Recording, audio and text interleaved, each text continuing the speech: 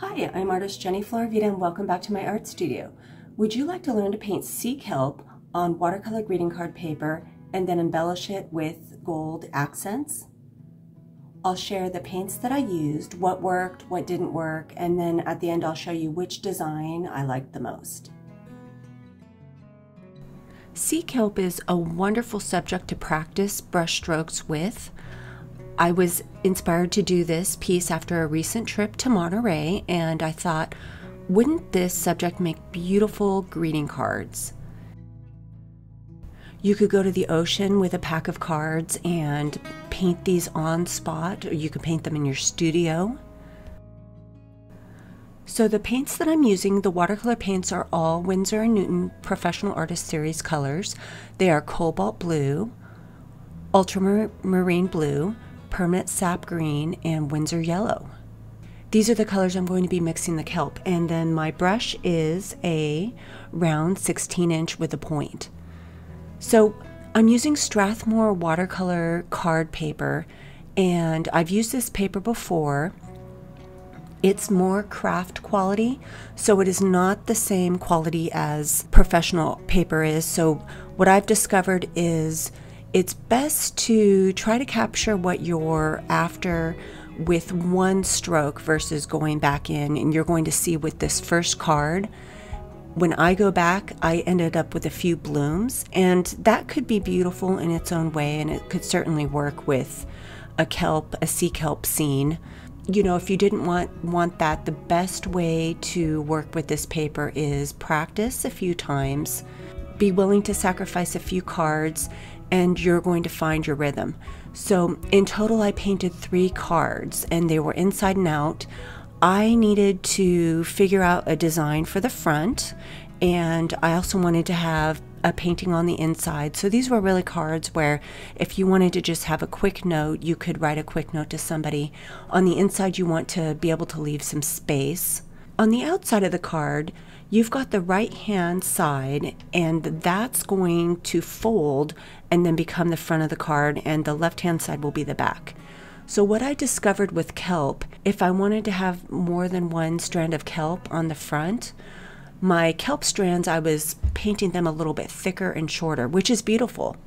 But in my second variation, I wanted to go with a little bit more expressive long kelp strands. So when I turned the card over, I practiced this and I'm doing this by pressing down on my brush. I'm loading my brush with paint and then I'm pressing down to get the thicker parts and then pulling up to get the, the thinner parts of the kelp.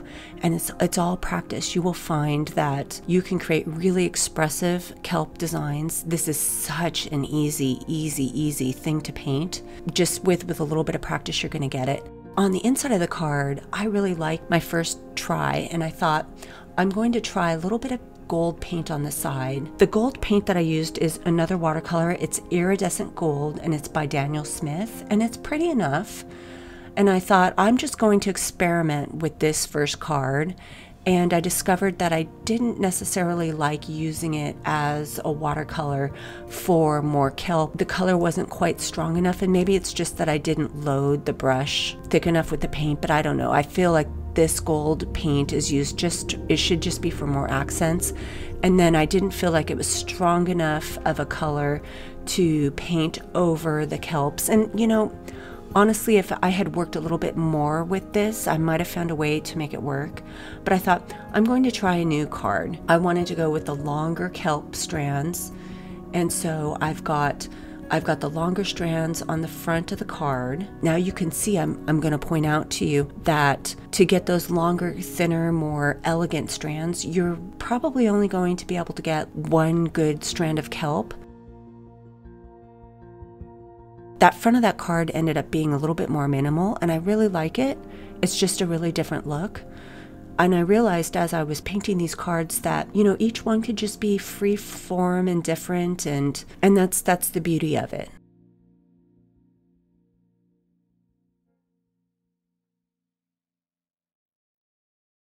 I'm mixing my colors. So in the top part of my watercolor palette, I have the sap green and then I have the Winsor lemon. And on the bottom, I have the cobalt blue and the French ultramarine. And just mixing those colors and letting them just kind of flow into each other and out, it just adds a lot of expression. If you want kelp more in the background, you can have lighter colors. That's what I would suggest. So on the inside of this second card, I just wanted to leave a little bit of space so you could write a note. And I thought I'm going to just paint again free, free form. And I really like how it's turning out. And like I said, as this paper is craft quality and it's, it's fine enough for watercolor paper. Try to keep in mind that if you do one pass of color, that's probably best. Try not to go back again for a second pass and you know, or, or you're going to get blooms. So I thought with this card, I'm going to experiment with a gold pen.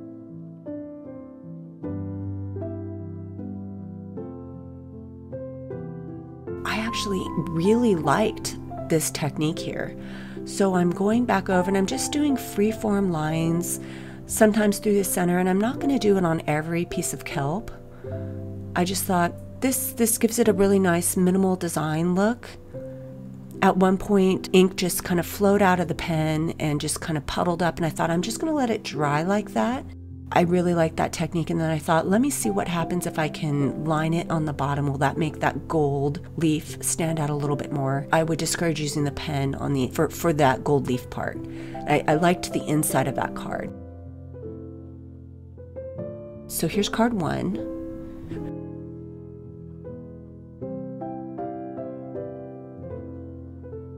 The inside of that card. So now here's the second card, and I'm going to try a different technique. I'm going to try the iridescent gold. That is an acrylic paint, and it's made by Golden, and it's a thicker paint, and I, th I thought that this worked really well. So, so if I was going to go and do gold accents again, I would I would go for the acrylic paint, and it's a stiffer paint so you have to take your time and go slow. It takes a little bit of time to dry, and I found that it works better if I can hold the card off of the surface and if I could just do it with a steady hand and and try to get the line. And, and the line doesn't need to be perfect. It could be very organic. I liked this look and it was it was very pretty.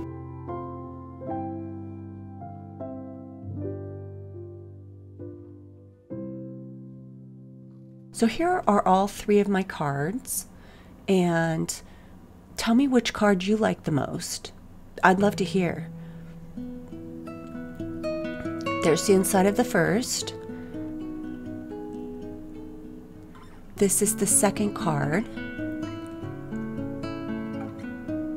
There's the inside. I think I really like the composition of the inside of the second because it gave me a lot of space to write a note if I wanted to. And then the third card had the longer, more elegant kelps, and it's more minimal on the front. And it's got a very similar design on the inside. If I was going to paint this again, I might I might continue doing something like this on the inside and you could even reverse the design. Let me know which design you like the most. Thank you for watching my video, and if you found value in this, please like and subscribe and hit the bell notification. If you'd like to see more of my fine art, you can view my original paintings at floravitalights.com, and I also make reverse painted glass chandeliers and lamps. That's a specialty. See you in the next video.